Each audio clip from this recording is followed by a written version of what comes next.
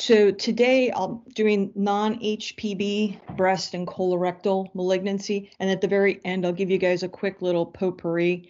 Um, just you know as far as copyright because this is education there are things that were taken from some textbooks the nccn and even a little borrowing from the podcasts of uh, behind the knife which actually is much much better if you guys need last minute stuff than the absite slayer. I had looked at that um, at least the second edition there's a lot of errors in it so if you guys have that i would just lay off of that so we'll do melanoma quickly so again the abcdes um, these you guys should be all familiar with.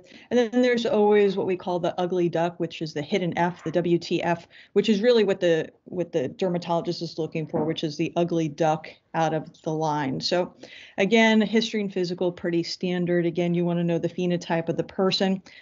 For the absite, UVB is the one that actually is causing the damage. So UVA makes you look old, but it's the UVB that's the deeper penetrance that actually is carcinogenic. Um, there are some people who have dysplastic nevus syndrome.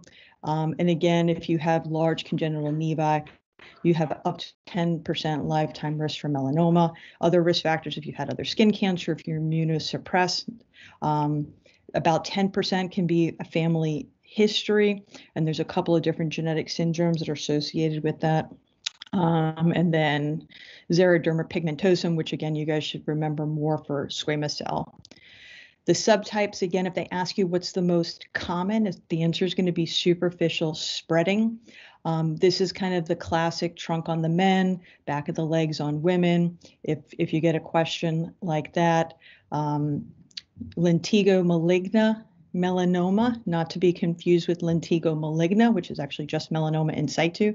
That's the head and neck, older male, elderly one. Um, lots sometimes you know just clinically you know these can be pretty difficult to clear so here you can see this is a field defect we've had patients with a field defect the entire size of their chest so um, but again, that's more associated with chronic UV exposure versus superficial spreading. You can think of that as a, that high burst intermittent sun exposure. Nodular melanoma, these are the ones clinically that I would say that we worry the most about. These tend to behave more aggressively, have a high mitotic rate, are usually deeper at the time of presentation. So, for example, yesterday I had a gentleman who did not have any clinically palpable lymph nodes two weeks ago and had one by the time that we brought him to surgery for a sentinel lymph node biopsy. So these things can be um, be incredibly aggressive, um, and that's just something more for your clinical knowledge. Nodular ones are the ones that are raised. Acral melanoma. Acral melanoma is an entirely different disease genetically how it behaves, how it responds to immune therapy. It's kind of lumped in with melanoma. And the other thing, again, for your personal knowledge, they're not going to ask you on the ABSITE. We think probably the ones that are underneath the the nail bed actually probably behave different than the ones that are truly on the palmar and the foot surface.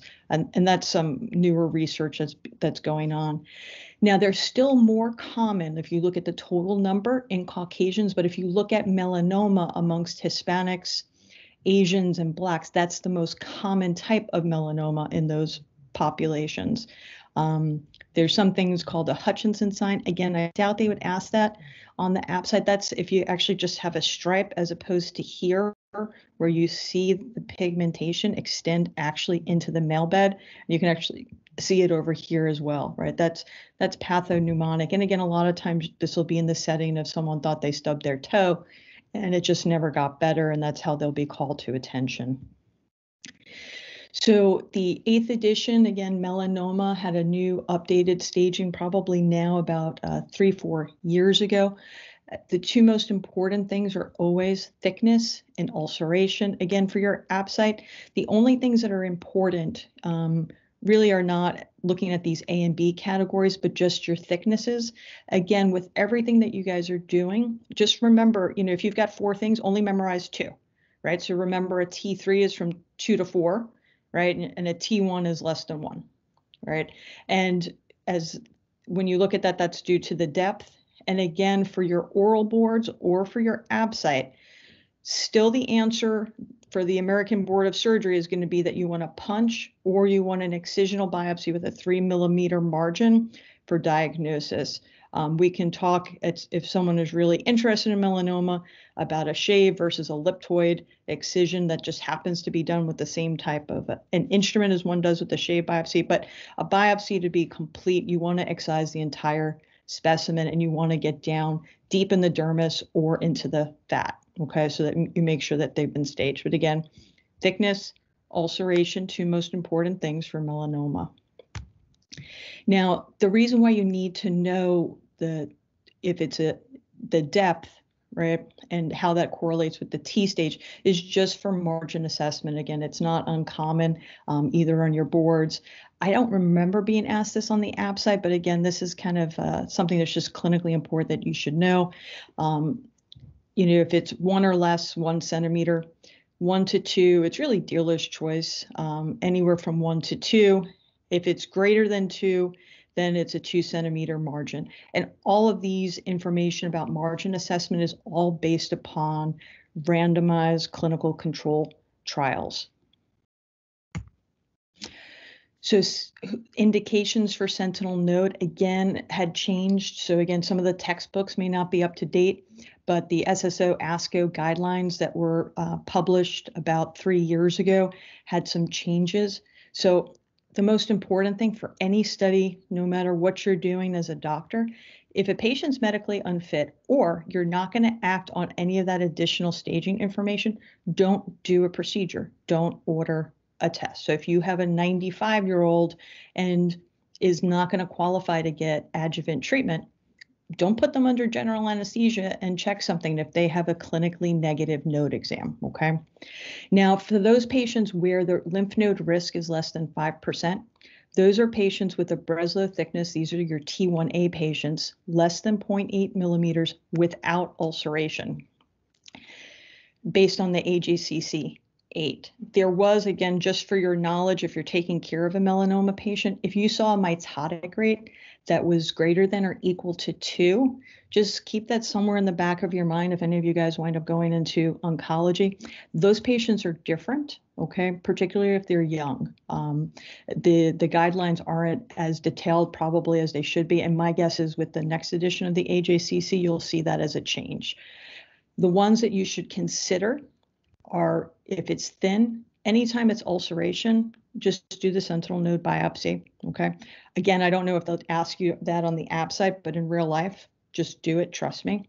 Um, the controversial areas between 0.8 and 1 millimeter. Up until a few years ago, the recommendation was not to do that.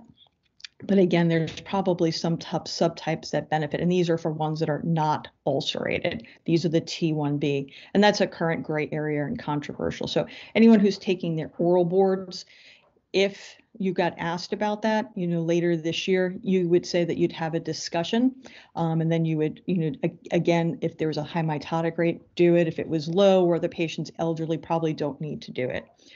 Sentinel node biopsies should be done clearly between one to four millimeters, right? Because their risk, it's um, almost by thickness. So we usually think about one millimeter, 10%, two millimeter, 20%. When you get to about three or above, you're at a 30 to 40% risk.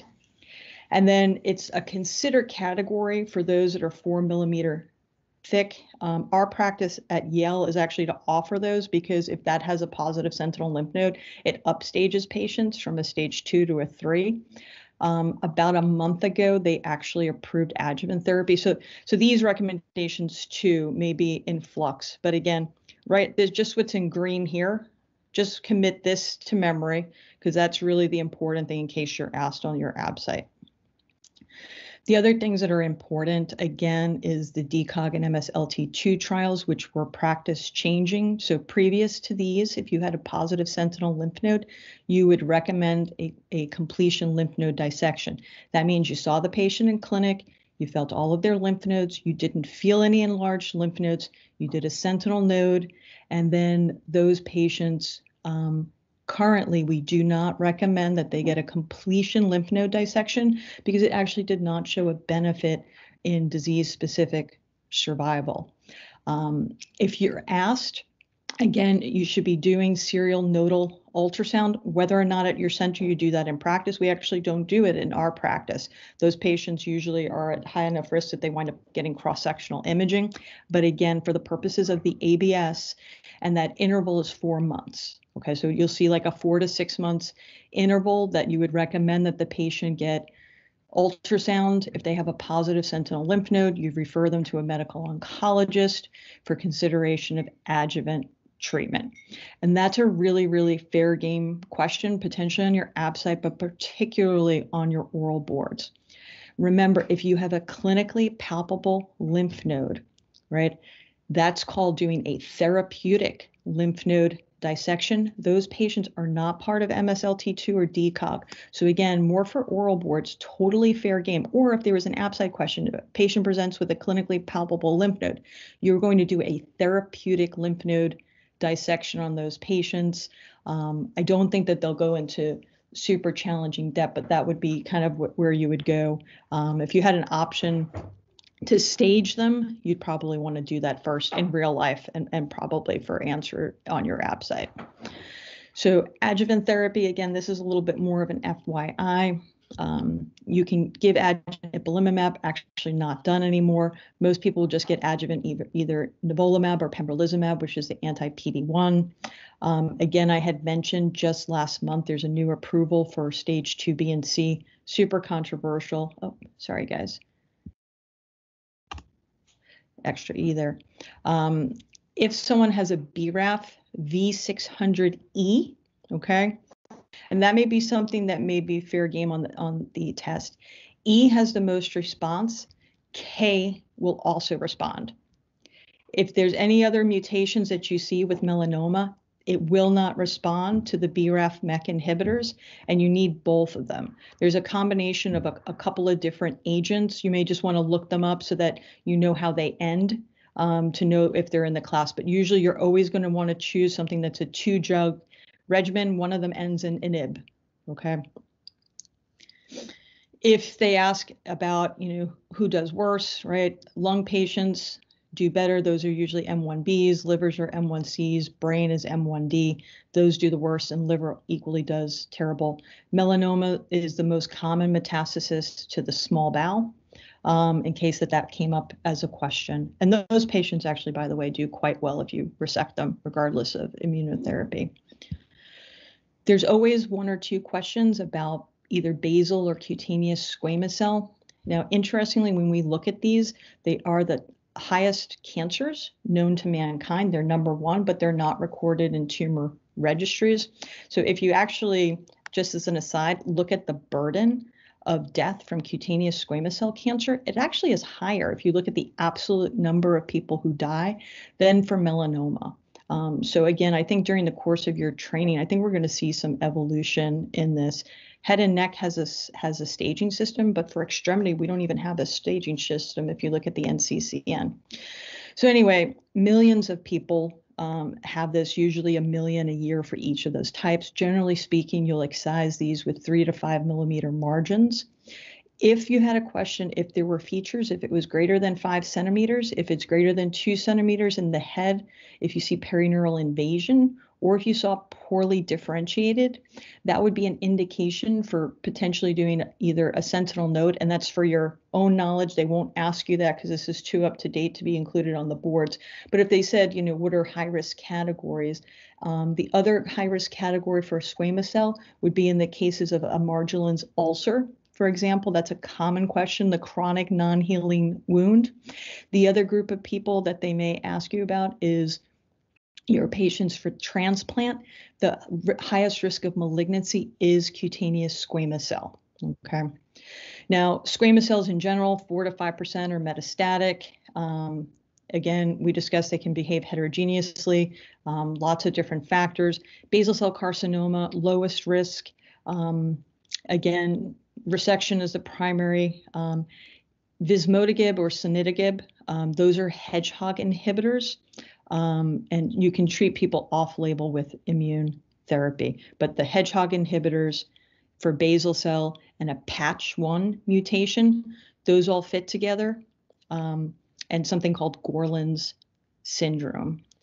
The other kind of um, disease that people talk about that has one of those names that comes up with when you have lots of squamous cell, that's also known as Bowen's disease, not to be confused with Bowen's syndrome. Okay. Again, history and physical for keratinocyte um, malignancies are very similar to what you would ask. Um, again, Gorlin syndrome, basal cell carcinoma, these patients are covered in basal cells. Um, it's really, uh, really scary. Um, now I'll pause. Any questions about cutaneous malignancies before I move on to sarcoma? Or Sean, do you want me just to wait till the end? I, th- I think you can keep going, and if questions come up, uh, just enter them in the chat box. Okay. So sarcomas, um, over 80 different subtypes, again, derived from mesenchymal cell origin, right? So soft tissue, bone, connective tissue. Um, again, here's the, the whole kind of family of them and the they like to reclassify them every couple of years and change the names if taking care of these wasn't hard enough already. If you look about about 12,000 cases a year, about 5,000 deaths occurs equally between men and women. And unfortunately, you also see it in young patients. Those are most of the bony ones that you'll see, like rhabdosarcoma, um, osteosarcoma. Those would be some of the more common ones that we see in that population. Again, the most common types of sarcoma, it's liposarcoma, regardless of location, okay? Particularly in the abdomen, that's the highest one. Leiomyosarcoma inside the belly is the second highest versus kind of if you group everything together in the extremity of these malignant fibrous histiocytomas and undifferentiated pleomorphic sarcomas, if you clump those together, but again, leiomyosarcoma is is pretty close um, even in the extremity. Um, synovial cell sometimes becomes a favorite, um, particularly for boards and so forth, uh, just because it's really treatable. It has a translocation. There's a bunch of different therapies for it. And it's also one of the ones that can go to lymph nodes. So it's one of those unique um, cases. And I'll tell you the, the mnemonic to know for, for sarcoma. You know, desmoid, again, make sure that you know it's associated with FAP. Um, you'll have patients really don't die from their colon cancer anymore of FAP. Gastric cancer becomes the second most common extra um, colonic tumor in those patients, except for women, were endometrial. But again, desmoids are associated with those patients. And again, for you guys, don't sweat. Um, if they ask you a sarcoma question, hopefully they'll kind of keep it to the liposarcoma. Liposarcoma, super important. That would be um, something they can ask. The mutation is MDM2 amplification. Okay. That is something that would be fair game for them to add ask you, and probably one of the more fair game questions aside from just questions on your ABSITE. So again, a lot of times you get all the, the questions on your ABSITE about risk factors and genetic syndromes. They like to ask that because those are facts, right? So as far as soft tissue sarcoma, right, radiation associated angiosarcoma. Um, if we look at lymphedema, that's the Stewart-Treves syndrome that's associated with angiosarcoma. So that's the question, the radiated breast cancer patient with lymphedema, right? So that's going to be an angiosarcoma. And again, the APC, desmoid, Li-Fraumeni. So they ask you about a young patient presenting with a sarcoma, right? You want to look for that P53 mutation in those folks. Um, neurofibromatosis, right? They get those neurofibromas, and they a lot of times will have benign nerve sheath tumors that can turn into malignant peripheral nerve sheath tumors, and then just becomes another important one to know for type 1 neurofibromatosis. These other ones over here, um, except for Gorlin with the patch mutation, again, just for that one, think about basal cell. If they ask you about that in sarcoma, I think that would be fairly unfair. Again, liposarcoma, the MDM2, okay, mutation that's actually what we use, and, and you have that sent out to actually solidify that diagnosis.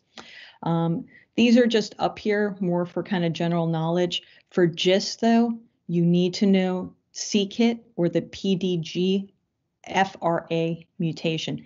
That you need to know. You get asked that every single year, and I'll talk about GIST in just a minute. So again, extremity sarcoma workup. I remember there always being a question on the app ABSITE about an incisional biopsy, excisional biopsy, um, or core needle. So again, if you can with these, you're going to do a core needle biopsy and you're going to have it set up such as that you would be able to excise the tract. Do not do an incisional biopsy. You guys all have to promise me for your whole life, except in extremely rare conditions for an extremity sarcoma, you actually can hurt a patient. So um, do not choose incisional biopsy and do not do that um, as, as you are going into practice. It's better to do a, a close margin um, excisional biopsy. Those patients, if, if you look even at studies that are done over, you know, again, you'd prefer to do it the right way the first time, but those patients do better. If you do an incisional biopsy, you can mess up margins, you can seed, okay? Um, the workup is typically for extremely going to be an MRI. Um, this is just some fun facts about certain types. Again, you hear me tell it, forget about it for your ABSITE but some uh, myxoid liposarcoma, those are super unique and they can metastasize anywhere where you have fat. Um, so, you know, you're, if you think about areas of lymph nodes, it doesn't go to the lymph nodes, but it'll go to those fat pads. It can go to the retroperitoneum. It can go to your bone marrow. Uh, so those are a very unique group of patients. So if you see that in practice, again, you want to get those to a specialty center. Um, again, abdominal and pelvis, because usually you think about chest scans for most sarcomas, epithelioid, angiosarcoma, and leiomyosarcomas, they really can go anywhere in the body versus, you know, if you think about most uh, sarcomas, like osteosarcomas, for example, those are ones you're going to think of. You're just going to get your non-con scans of the chest. And actually, those patients, you can keep them around with metastasectomy. The scare, I don't think they would ask you for this um, on your ABSITE but could be something on the boards. Um, the acronym is SCARE, so synovial, clear cell, angiosarcomas, rhabdomyosarcoma, and epithelioids. So those are the little blue cell tumors. Those are ones that actually have the highest incidence of lymph node metastases, high enough that you should think about um, in real time, in real practice, you know, at least doing some, you could do some nodal imaging, you could do a sentinel node. Um, they wouldn't ask you probably about that management either on your boards or for this, um, only if you were taking Surg-Onc boards. But again, synovial clear cell angiosarcoma, rhabdomyosarcoma, and epithelioid can go to the lymph nodes. They're very unique in far, as far as sarcomas. So again, stage them. You know, um, you consider doing chemotherapy first if they're high grade, um, and then um, you know greater than five to ten centimeters. Um, again, I, I don't think that they're going to ask you this portion over here. That's just for general knowledge for today. And then again, um, to make matters more confusing, and I hope that they would not ask you guys um, on your ABSITE about the staging for sarcoma. Um, GIST has a separate staging system. Dermatofibrosarcomas have a separate staging system. Extremity versus the retroperitoneum versus some of the other types of sarcomas all have their own separate staging system. Um, the things though that are, are important just for you for clinical knowledge, right? How big they are is important.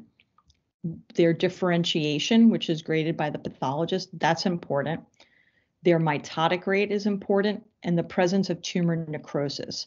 So I, I, don't think that they would ask you to stage that, but if they asked you a question about, um, you know, a sarcoma and, you know, with risk factors, again, differentiation, mitotic count, and the presence of tumor necrosis, and then size. Those would be the important things that you would look at, and those give you what your grade is. Again, your survival is dependent upon the type the grade, and the location of a given sarcoma. Now, GISTs are a favorite for testing. Okay, so they're the most common sarcoma, the GI tract. The stomach is the most common, also is associated with the best prognosis, followed by the small bowel and then the duodenum and the rectum. Once you start to get out of the stomach, that's when you'll see different differences in the mutational status sometimes. Now, the other thing that is um, incredibly common to know for GIST is that the most common sites are going to be the liver, followed by having dissemination in the peritoneal cavity. They do not go to lymph nodes. So, how you do these surgeries is really to make sure you have negative margins. Most GISTs are going to have the KIT mutation, CD117, know both for your test. Only about 5 to 10% will have the PDGFRA mutation. PD, PDGFRA, right? They'll ask you these questions on the boards. Much, much less commonly, you'll see an SDH mutation. Those are also associated with paragangliomas, and that's part of a genetic syndrome. Again, for GIST, again, tumor size, mitotic rate, and location. Okay, just like all sarcomas, those are the most important things. Now, specifically for GIST, the cutoffs are five centimeters in size and then five mitoses. Okay, then again, when you double it, okay, 10 and then 10 mitoses, that will affect their their prognosis. If resectable, usually you're going to do surgery first, followed by adjuvant imatinib. Um, the years, um, it used to be five. Um, you know, I actually forgot to check this morning if it's extended to longer than that. But if there was a question, you want to choose at least five. I think some of the studies have looked out at 10 years. Um, now, again, for the definitely for your boards, I'm not sure if they'll ask for the ABSITE but the exon mutation is highly predictive of your response. So again, most people are going to have a KIT mutation. So if you have KIT or the PDGFRA mutation, you'll res- you'll have responses. However, within the KIT mutation, exon 11 has the most responses. Exon 9, it'll still respond, but only 50%. If you had other mutations, you do not get high response rates to imatinib and imatinib is your first line, and then sunitinib is your second line. And then imatinib, they wouldn't use the brand name, but that's Gleevec, which is also used for glioblastomas. So, other gastric tumors. They love, love, love to ask about gastric carcinoid tumors, right? So you just need to know type 1, type 2, and type 3 it's this is something that when i was taking unless they've changed it i remember them asking every single year was on my boards was also on my Surg-Onc boards. So type 1 is associated with atrophic gastritis. They're small they're usually multiple and they'll look like little polyps they'll grow slowly and rarely are these going to metastasize okay think of them as more of a local nuisance. And sometimes some of these, particularly if you catch them in a hypertrophic polyp state, will actually be reversible with correction of the atrophic gastritis. Now, type 2, again, this is the one that's associated with Zollinger Ellison syndrome and type 1 MEN. Okay. Again, usually when these are found, they're multiple and they're small, right? And they're due to a hypergastrinemic state. Okay. They grow slowly, but compared to type 1, they're more likely to metastasize. And those can be nodal, those can be liver. Now, type 3 are the most aggressive, and these are these are sporadic Many times they're found large to be at the time of diagnosis. Because again, if you think about the stomach, you know, something has to be fairly sizable for you to have no symptoms versus type 1 and type 2. Usually people are presenting and they're seen on scopes because they're going to have some type of symptomatology associated with those conditions. Um, these are the ones, you know, if you see a sporadic gastric carcinoid tumor, you, you you're definitely going to be worried about them more again nodal and liver metastases for carcinoid tumors at the beginning in the in at, at the gastric are the, are the most important. Same thing if you have a carcinoid tumor in the ileum again um, liver being the most common and lymph nodes for that too. Gastric lymphoma, I always remember getting a question about this. Again, this used to be a surgical disease that is no longer the case. Again, it's chemotherapy plus minus radiotherapy. Um, and many times, if it's associated with H. pylori and it's an early stage, you can actually see reversal of that, particularly in the case of the MALT lymphoma. And again, that's something that that will be. I remember always being asked that every single year, just one question on that. So again, if you had that, you want to eradicate them with H. pylori, and then you can then it, the, you do radiation plus minus chemotherapy depending upon the stage.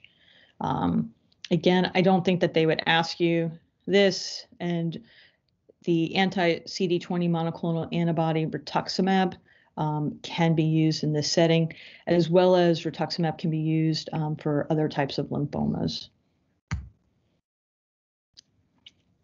Now, gastric adenocarcinomas worldwide, huge burden of disease. Um, this is the one where you'll have the, you know, the beetle seeds, salted, pickled, high nitrate type diets, um, H. pylori associated, a three to six fold increase um, in, in, patients with gastric cancer. They're found to be seropositive. And again, that etiology behind that is all about chronic inflammation. Familial gastric cancer syndromes, all of these are autosomal dominant. CDH1 mutation in women, you'll also see that in lobular breast. I don't think they'll ask you that for ABSITE. Surg-Onc boards, they'll definitely ask you that. Lynch syndrome, juvenile polyposis syndrome, Peutz-Jeghers, FAP. In the United States, less gastric cancer, but a migration up to the GE junction. Signet cells do worse than intestinal subtypes. Intestinal subtypes usually are associated with H. pylori. The workup, you're going to do EUS imaging for staging. If it's resectable, you'll do an upfront laparoscopy to detect clinically occult um, washings. Again, for this year, um, I'm not sure if they'll be as up to date with some of the newer studies that have been um, more popular, really really highlighting, even for things that are T1B gastric cancers, the importance of doing a staging laparoscopy with washings and cytology. Lots of choices um, to give patients neoadjuvant treatment. You can do that with chemotherapy, and, and that's based on the MAGIC trial. Um, you can give them upfront chemo rads. Um, or you can give treatment in the adjuvant setting. If you look at the NCCN guidelines from this year, again, T1A or in situ, and T1A means confined to the mucosa, okay? Those are really the only people that you should be kind of saying, okay, this is low enough risk, you know, surgically first, um, without really worrying that much about laparoscopy in your mind.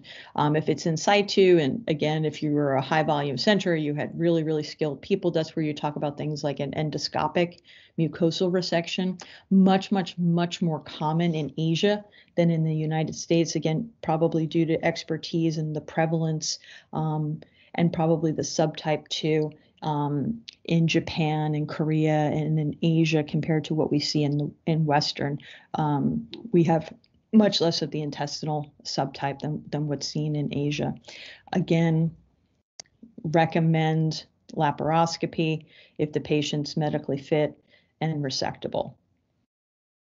The other things, um, I think I have it in the other slide. Again, if it's you need to know what the Siewert category is, and you need to memorize what that is. And I'll tell you um, how I keep all of that that together.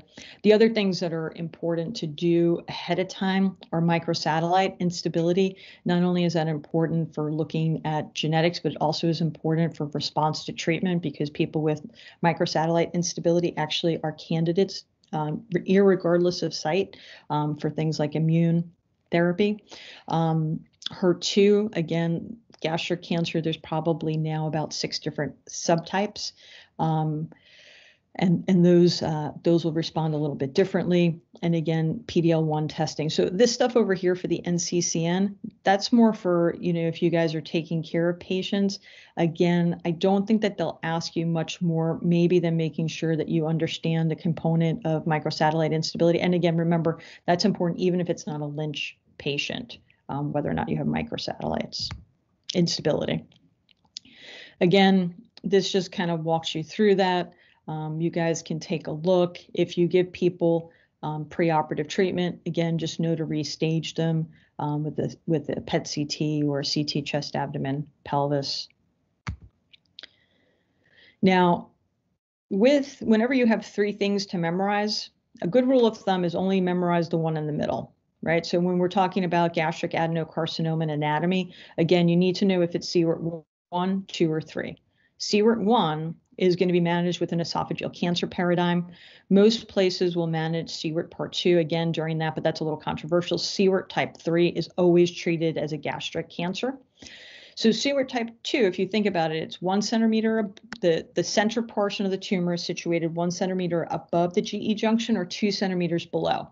So you know that. And then for Siewert type 1, five up. For Siewert type 3, five down okay? But just rec- just memorize what Siewert type 2 is. It's fair, fair game because it's a fact, right? Facts are always easier for them to test than kind of management questions unless it's super straightforward.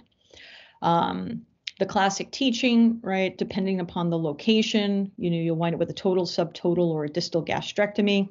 Classic teaching, again, for gastric cancer is five centimeter margins. The lymphadenectomy that you should do is a D2 without the spleen, okay? And you want to have at least 16 nodes in your sample per the NCCN guidelines. Again, going to go over it again because it's important. CDH1 mutation, women for hereditary gastric cancer, it's autosomal dominant. Again, women with lobular carcinoma of the breast. Lynch syndrome, again, you guys need to know, particularly these first three here, MLH1, MSH2 slash 6. You have to know this, right? Lynch is so common, right? They're going to ask you about it. Juvenile polyposis syndrome, particularly SMAD4. There's another mutation, but that's one that's really important for gastric cancer. Peutz-Jeghers, right? You need to know the STK11 and FAP. You need to know that the, the gene involved is APC. These familial syndromes, again, really, really easy for them to ask you those questions. So it's one of those things like right before you take the test, you like you glance at and hope that you remember it. Again, just when we're talking about the lymphadenectomy, a D1 lymphadenectomy really are the nodes that are the closest to the stomach that if you were going to take out the stomach, that would easily come out. D2, really think about things that are centered around the celiac axis and its branches. And again, if you were to look at this in three dimensions, if you flip up the stomach, you want to take those lymph nodes on their way to the spleen. And again, when you're actually doing a gastrectomy, um, you have all of that mobilized. So, you know, you just want to take all of that fatty tissue and skeletonize those vessels. Patients get more appropriately staged. And again, the magic number for gastric cancer on current recommendation is 16 or more that you've done an adequate lymphadenectomy. With this too, just know so these gastroepiploic lymph nodes, remember, in, you actually have the omentum hanging down, so you make sure to take the omentum with that. All right. So I'm going to take a breath and just do a quick potpourri. So the cell cycle, I remember, was kind of a, something that was always asked. Um, you know, just know what happens during all of these types, um, all, all of the phases in cell synthesis. Now, here on the outside, you know, you can see some of the common mutations, um, particularly with the kinase dependent interactions that, you know, so for example, over here, right? P53 mutation, P16 mutation, right? CDK46. These are super, super common things that you'll see um, for cancer. And, you know, knowing that they happen in G1. And again, G1 is the longest phase, right? You see the, the, the most amount of things there. Um, other the cyclins usually are going to be um, cyclin 2 and they may not ask you this, but this over here, right? Just know G1, you have P53, CDK46, and P16. Okay. Uh, and as you guys know, P16 can be important for HPV associated cancers. Again, exhaustive list. Um, just up here more for reference, but again, things that are important, right? You need to know ERB mutation with EGFR, um, HER1, ERB-B2 for HER2 neu, right? Things that are really, really common. Again, you'll hear more about that probably when you have your breast, um, but EGFR, right? We have targeted therapies, right? It's a really common pathway, so make sure you know that. The um, the RET oncogene, right? You're going to get that with endocrine, right, for your MEN um, and medullary thyroid cancer, um, KRAS, right? Super common gene mutated lung, colon, pancreas. BRAF is specific really for melanoma. Um, and again, the list goes on and on. Uh, the BCR-ABL um, translocation, again, that's a real common one asking about CML, AL, ALL, and AML. Um, and then um, Ewing sarcoma with uh, this translocation down here. Again, those from my my many years having to take this exam, those were really the ones that were highlighted. Again, another non-exhaustive list of tumor suppressor genes with inherited susceptibility. Again, PTEN mutation, RB1, P53. Again, sometimes they'll ask you again, up here on the slide before, these are oncogenes versus here, these are tumor suppressor genes. Um, and again, most of you'll be familiar with almost all of these, but they could ask you a question like, is BRCA1 and 2 and, you know, the the mismatched genes, right? Are these tumor suppressor genes or like which one of these aren't? So again, this is kind of one of those things to kind of glance at. And again, if I'd pay attention more to this table. And then if it's not on that table, then say it's an oncogene, right? So just kind of look at the ones that are super common. So I don't think this will be covered anyplace else. So again, just a quick immunology potpourri. Um, so some of this is from what I think is important and I looked at the Behind the Knife podcast of what's the last minute things for you guys to know for the ABSITE. So it's kind of a hodgepodge of these two things. So interferon, alpha and beta, think about this as antiviral. So again, how does the immune system attack viruses, right? You need to upregulate, upregulate your MHC class one in order to um, be able to recognize self versus non-self. Um, the interferon is also was a treatment for um, hepatitis. Um, you know, some somewhat treatment still now for multiple sclerosis. But again, for that, just think a bit about antiviral action and upregulation of MHC class one. Now, interferon gamma, that just like IL-2 is kind of a really major and important cytokine for actually your effector immune response. Again, it'll be released by most of your antigen presenting cells, right? So macrophages, dendritic cells. Again, what that's doing is it's communicating to the rest of the, the immune system and cells to upregulate MHC class one and two, which you need to mount effect, effective effector um, responses. Th1 differentiation, again, important in antiviral defenses, right? So that's really the gas pedal of your immune system. Now, GCSF, when you have granulocytopenia, right, neutrophils. Now GM-CSF, remember, like that's a like Neupogen that people will get. So um, know the GM-CSF, um, and that if you give that, that's Neupogen, which is how you treat chemo-associated uh, neutropenia. TNF alpha, again, is a big inflammatory mediator. Again, that's kind of, you know, you get your COVID shot, your TNF alpha levels are through the roof. So all of us, you've been vaccinated, right? Fever, you know, coagulation, um, right? If you're mounting a big response, you can get hypoglycemic, cachexic. So, you know, end stage tumor patients too, have that in your mind. Those patients, their TNF alpha levels are sky high.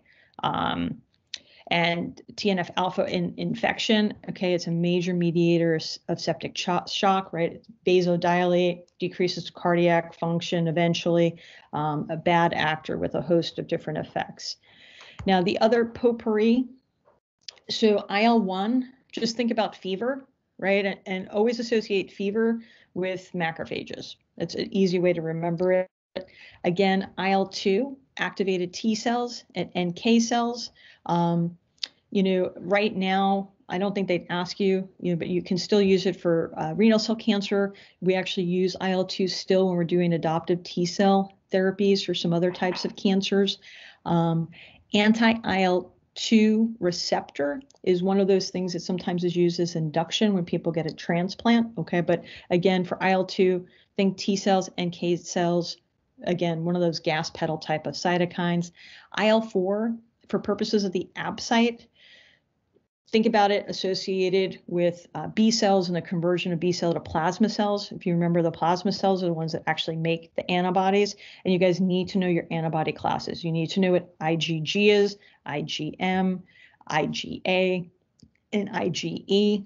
Okay, it's going to be asked all the time, right? Your IgG that crosses the placenta, that's most of your the antibodies that you have longer term. IgE, right? Parasites as well as um, the the hypersensitivity response. IgA, that's your mucosa. That's you know kind of where people are saying vaccination intranasally, right? Mucosa, you get more IgA, um, and then IgM is the biggest one, and usually early right? I, IgG is going to be a little bit later.